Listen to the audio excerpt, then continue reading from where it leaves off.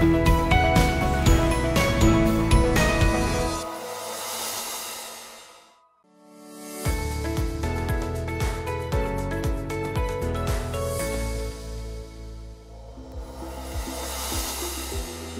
viewers, Drishti IAS welcomes you to the new series of To The Point.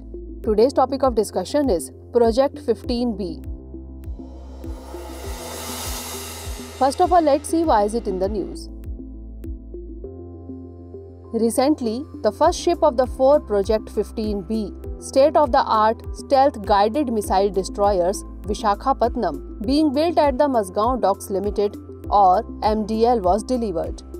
It is said to be an affirmation of the impetus being given by the Government of India and the Indian Navy towards Atmanirbhar Bharat as part of 75 years of Indian independence.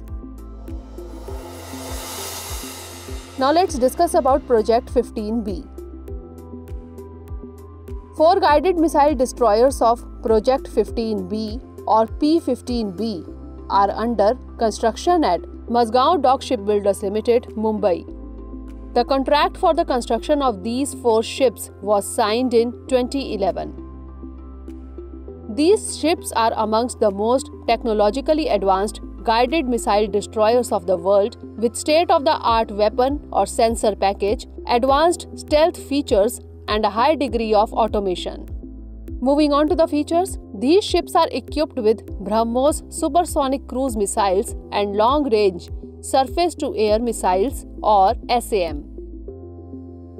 The ship has several indigenous weapons systems like medium range surface to air missile or SAMs, indigenous torpedo tube launchers, anti submarine indigenous rocket launchers, and 76 mm super rapid gun mount.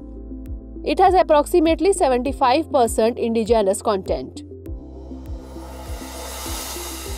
Now let's discuss about other three ships of the project 15B.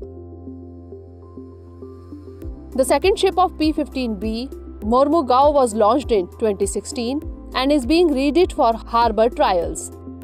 The third ship, Imphal, was launched in 2019 and is at an advanced stage of outfitting. The fourth ship, Surat, is under block erection and will be launched within this current financial year, that is 2022. Now, moving on to the question for today.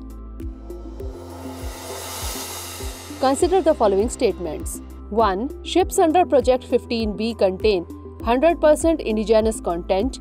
2. These ships are equipped with BrahMos supersonic cruise missiles and long range surface to air missiles or SAM. Which of the above statement or statements is or are correct? A 1 only, B 2 only, C both 1 and 2, or D neither 1 nor 2? Send the answer of this question in the comment section. Stay tuned for the next episode. Thanks for watching. Have a great day.